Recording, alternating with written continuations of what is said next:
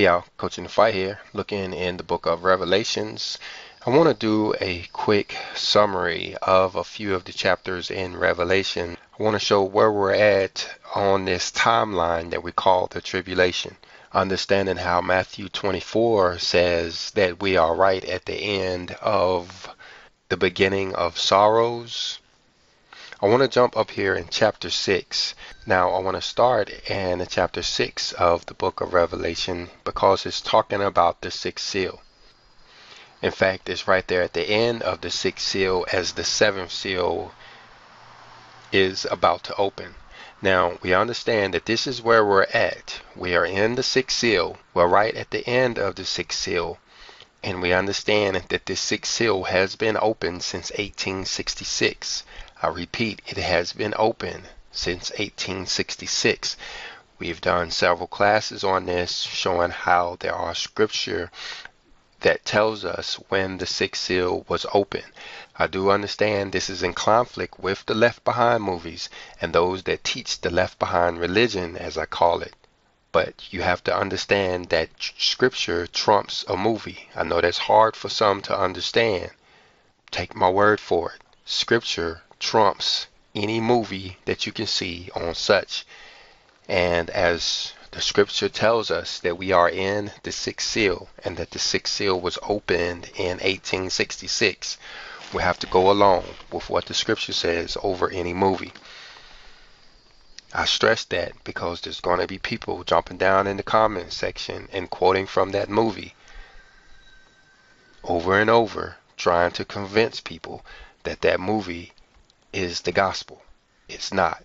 It is a very fictitious movie talking about that Left Behind series.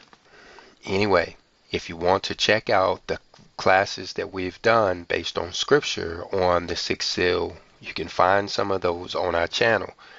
I'll probably post a link to it in the end screens of this video and if you remind me I'll put it down there in the comment section or somewhere to let you guys see how we have scriptural proof that we're in the sixth seal, right at the end of the sixth seal, waiting for the seventh seal to be open. And so that's where we'll start as chapter 6 talks about the seventh seal to be open. This is where we're at now. We're actually waiting for the seventh seal to be opened. So let's look at some of these verses right here so we can see some of the stuff that we're expecting to take place here. Okay, so now let's jump all the way down here to verse 12 as chapter 6 talks about the sixth seal. And you see how it's talking about a great earthquake. But now, as we learned over in that class that I keep referring you guys to, we this earthquake will happen at the end of the sixth seal. I know it's a bit confusing on how this wording implies that the earthquake will happen as he opened the sixth seal. But if you're not careful, you can also believe that the opening of this sixth seal could be a 24 hour event or a day long event. Again, this seal has been open since 1866. And these events that's talking about here will happen at the end of this sixth seal. The sun becoming black like a sackcloth of hair, and the whole moon become like blood, these are the very next events that we are actually waiting on here. We're waiting on this first earthquake. And we did a class not too long ago showing how there are actually two earthquakes in the Bible. One at the opening of the seventh seal or at the end of the sixth seal. That's the one we're talking about. But when you look over and you look at the earthquake around the seventh trumpet, there is that is a different earthquake. There are two separate earthquakes talked about in the book of Revelation. This first earthquake, this is going to be that sets off the tribulation. It's going to give everybody a wake up call that we are in the tribulation. You see down there in verse 17, it says, For that great day of wrath has come, and who shall be able to stand? This is talking about the kings of the earth, the noblemen, the captains, the rich man and the poor man, the men of valor, pretty much the whole world realizing that we are right there at what they call the day of wrath. All of that will occur after this great earthquake that's talked about in verse 12. And after the sun becomes black and after the moon becomes red. You see in verse 13, there's also going to be some stars falling from heaven. Let me show you this over here in the third testament of the Bible, chapter 64, verse 38. is also talking about a rain of stars hitting our planet. This is one of the events that's prophesied all throughout scripture is that there's going to be some type of what we would call a meteor shower or something like that that's going to be right there at the beginning of the tribulation, right before the tribulation kicks off or maybe it's the very start of the tribulation you can see in the third testament of the Bible is talking about how there will be a new planet. The scientists are going to discover a new planet, and a lot of people have been aware that this planet has been coming for a while. They call it Planet X or Nibiru.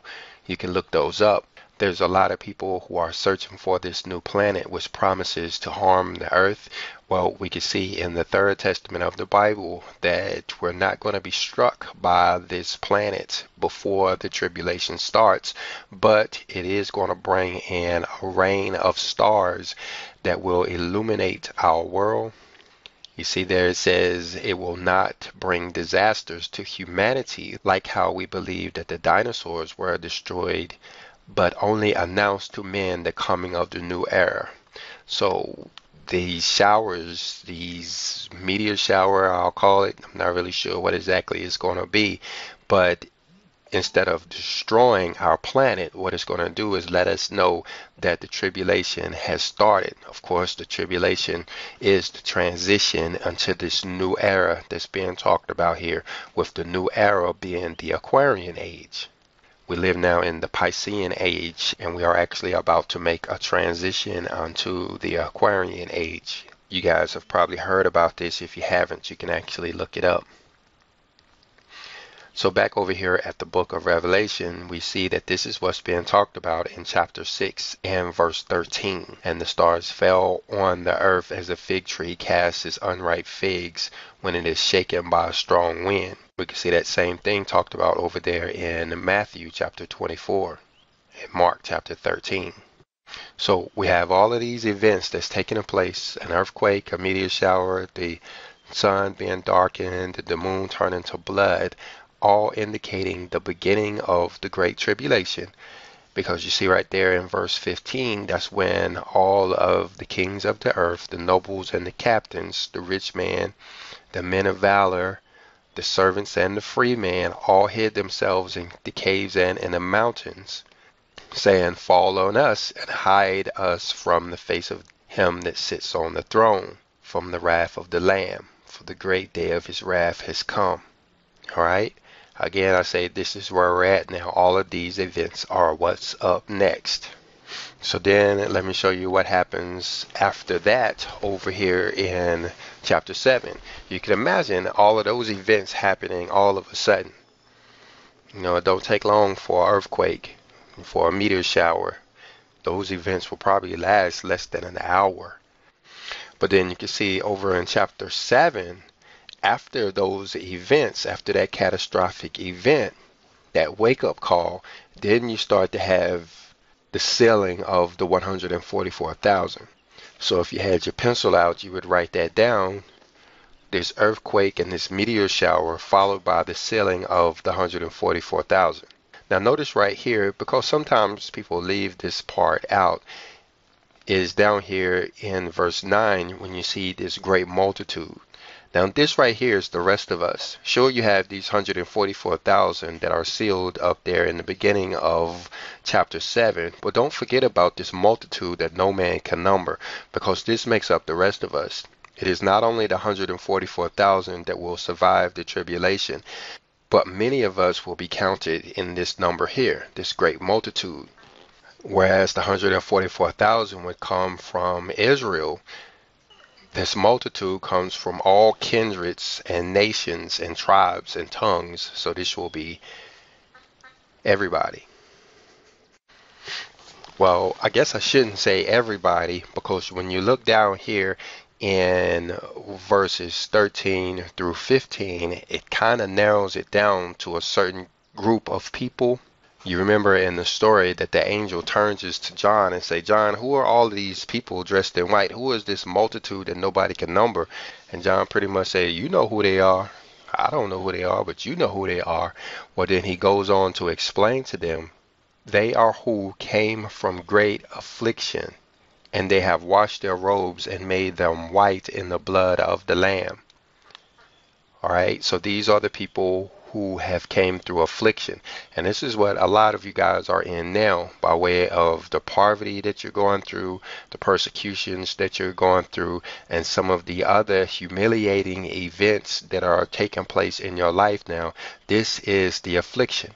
And this is also why I put this certain translation of the Bible up here of the book of Revelation. This is actually coming from the Aramaic translation of the Bible because it uses the word affliction instead of tribulation. And that's a big difference, guys, because you know, at this part in the story, the tribulation hasn't started already. And so it is a big confusion when the King James Version uses the word tribulation because it implies that the that these people will emerge after the tribulation is over.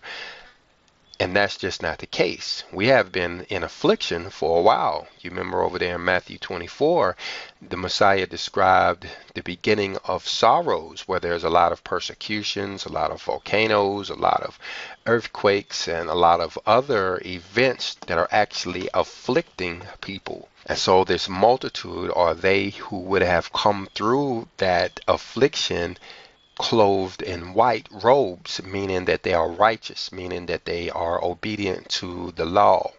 That's important to grasp because there's a lot of misunderstandings related to the law. The people in the left behind church, that left behind religion, they who are waiting for the great escape are planning that escape by rejecting the law.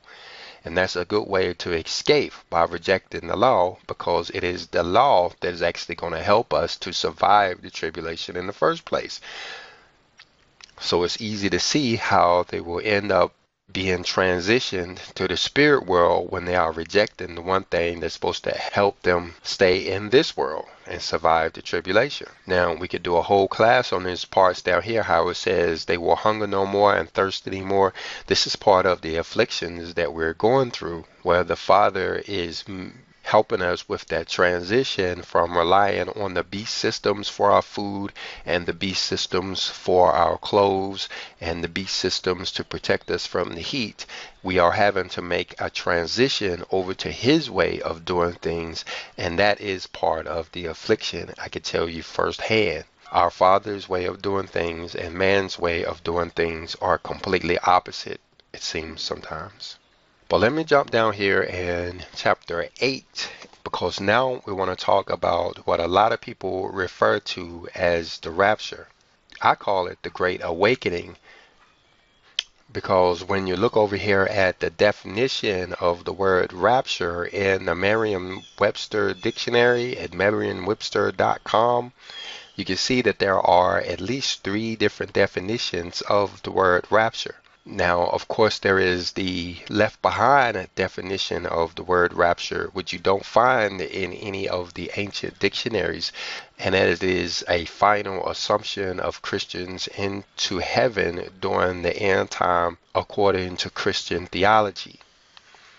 Now, they add these a whole lot of caveats in here and asterisks and different stuff to let you know that this definition has been added to the dictionary based on modern beliefs of what's actually going to take place. The thing is, there is some truth in this definition of the word. You just have to look at it. See how it says assumption of Christians into heaven? Well, you've heard the old adage everybody wants to go to heaven, but nobody wants to die. Well, that's how you get to heaven, ain't it? But anyway, that's not the definition that I go by. I go by the more traditional definition of the word rapture. this one right here that says a mystical experience in which the spirit is exalted to a knowledge of divine things. That is actually what is about to happen to us. It's mystical in that it is a mystery and we don't really understand it. We're all going to experience this at some point, but it is going to have on an effect on our spirit. Our spirit is going to be exalted Whereas now many of us don't even know we have a spirit man inside of us. The spirit is going to be a, awakened and it's going to be exalted to a knowledge of divine things, which means that we're going to get closer to our Father. We're going to get closer to that spirit world. We're going to be able to interact with angels and other beings in the spirit world. We're going to be able to communicate with animals. We're going to be able to recognize and understand our previous lifetimes. A lot is going to go on during this time right here. It's definitely going to be an expression or manifestation of ecstasy or passion. Well, this is what's talked about over here in chapter 8 of the book of Revelation. Now, it starts at the beginning of the seventh seal. Once the seventh seal has been opened, that's when we're going to have this transition. You can see some of this taking place in verses 2 and verses 3 when it's talking about this angel that shall stand before our Father with seven trumpets. He's actually going to be standing at the golden altar He's actually going to be standing at the incense altar, which is right before the throne on the other side of the curtain, outside of the Holy of Holies. And he's going to be performing an incense burning, which is going to carry our prayers up to the Father. But if you look here in verse 5, it's also talking about thunders and flashings and voices and an earthquake. But this is the same earthquake that we saw back there in chapter 6. So it is like these events happen simultaneously. Well, let me show you back over here in the third testament of the Bible in chapter 55. Verse 7 says, And when those chosen by me find themselves reunited round my law, the earth and the stars will be shaken, and in the sky there will be signs. So, what this is saying is that once the 144,000, which are those chosen by me, have received their sealing, which is what is saying, reunited around my law, then the earth and the stars will be shaken, and in the sky there will be signs. So there's your earthquake, and there are your stars falling. And you also have the moon turning into blood and the sun darkened right there with those signs. So let's make sense of this, understanding that the scripture is 100% correct. That's the beauty of the scripture is that you cannot find not one single error in it. Period. Even if you try to look hard enough, all you're going to find is either translation errors or misunderstandings on our part because the Bible is the only unfallible thing on the planet. So let's make sense of this. Now, one thing we have to understand is how Revelation is made up of several parallel narratives, meaning it is the same story told over and over, at least seven times. Some say it's the same story told over ten times. And that is what I believe we're seeing when we look at this transition statement right here at the beginning of chapter 7, when it says, And after these things I saw four messengers which stood at the four corners. You got to remember that this is John that's actually in this vision state here, seeing all of these events take place before his eyes. Well, I believe what he's trying to tell us here is that he saw one thing occur up here which was at the end of the sixth seal with the earthquake and the stars falling from heaven. And then we almost start the same story over again down here in chapter 7. This is what it means to be a parallel narrative is because he's going to tell us the same thing over again. Now, those who are paying very close attention will say, okay, well, where is the sealing of the 144,000 in chapter 6? Well, it is over here in the Third Testament that we get the understanding that the sealing actually takes place in the sixth seal. That is basically what the sixth seal is about. That's why there's so many people talking about the Holy Spirit and the Elijah Spirit. It's because of all of the things going on in the sixth seal, which also includes the sealing of the 144,000. You see right here in chapter 38, which is pretty much all about the seven seals. You see right there in verse 64, it says, It is the sixth seal upon its unleashing, overflowing with its contents of wisdom, your spirit in a message of full justice, clarification, and revelation. It is in the sixth seal that we get the fulfillment of a lot of ancient prophecies and forgotten promises. The arrival of the Comforter means for you the opening of the sixth seal and the beginning of a new stage of the evolution of humanity. This is what the sixth seal has meant for those who love the Lord. Well, before we jump back over there to Revelations, let's look at this verse in chapter 55 verse 70 says, Do not be confused, because before the closing of the sixth seal, great things shall happen.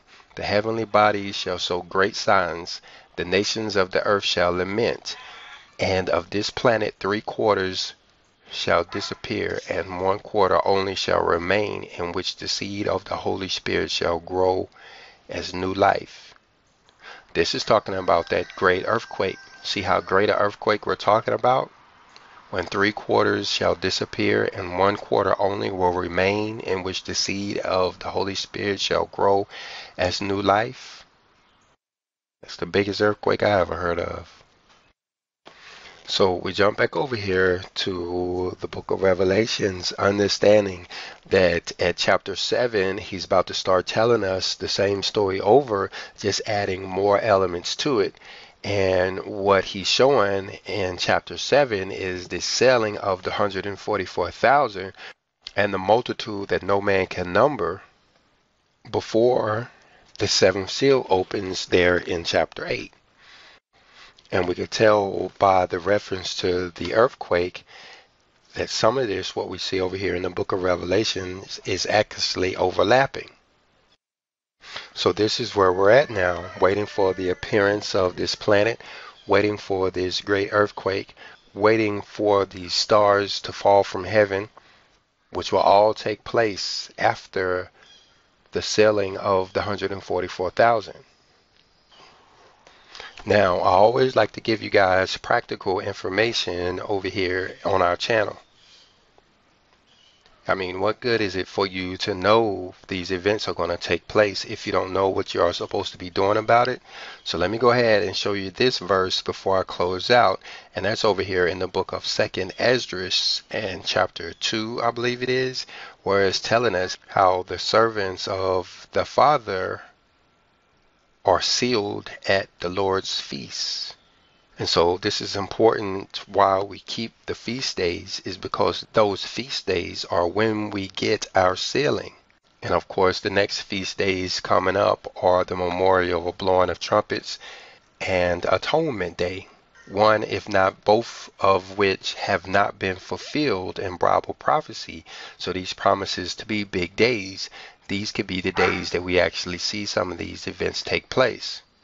But even if they don't, we have the mandatory feast of tabernacles or booths, which I've always said would be the perfect day to have a global earthquake since everybody is supposed to be sleeping in tents anyway. You got to remember that our Father is everywhere, He knows everything, and He is all powerful. And so it shouldn't be too hard to understand how He could have put all of his loyal followers in a tent during the time when we would have a global earthquake that destroyed two thirds of the planet. I don't know. It makes sense to me. Well, anyway, I'm going to go ahead and close this out. I'll probably end up doing this video again. This is the first time I've attempted to do this and so I think it is a bit rough and so I'll probably end up doing it again because I believe I can do a better job. So go ahead and subscribe to the channel. Hit that like button if you haven't done so already. Leave us a comment and pray for us.